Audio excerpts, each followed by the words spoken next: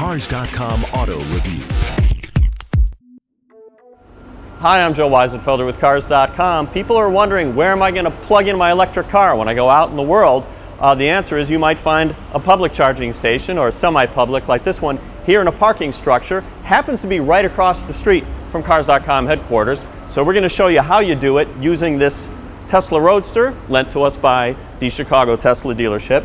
Now the basic information is you've got this kind of journeyman 240 volt charger. This goes in your power supply. Now, where do you get that power?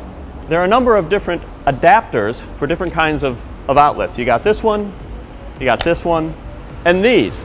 Now, what you don't have is this one. So what we're going to do is going to resort to good old 110 volts.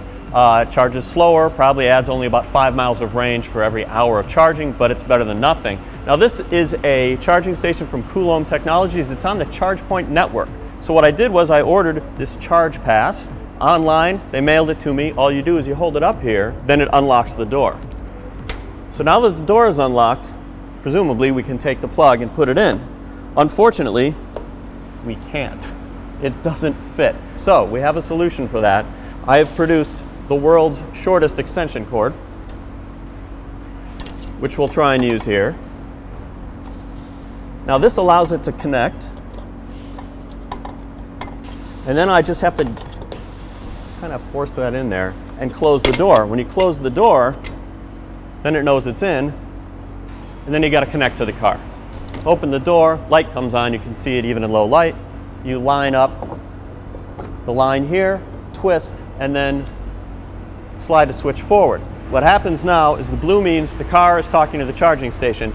Now as it starts charging, it's supposed to turn amber and it'll pulse quickly if it's charging quickly and slowly as the battery gets full. Unfortunately, it just went white. Why? Something's not right here. I actually tried at another charging station, another parking lot, and it worked fine. The charging station itself shows you that charging was suspended. It says there was a ground fault. Now, you can set up your account so uh, ChargePoint will send you an email or a text message or both telling you that something has gone wrong, telling you that the battery is fully charged. And they can even send an email or a text message telling you that the car is charged. Uh, and then you have, say, 20, 30 minutes grace period to come disconnect. So you're not being billed for what you're not doing. As for the charging itself, it worked fine at my house and it worked at another charging station, a public one like this. So obviously there's some kind of problem here that needs to be addressed. We hope they do it soon because we're going to be charging a lot of test cars in the future. For more car related news, go to Cars.com or our blog, KickingTires.net.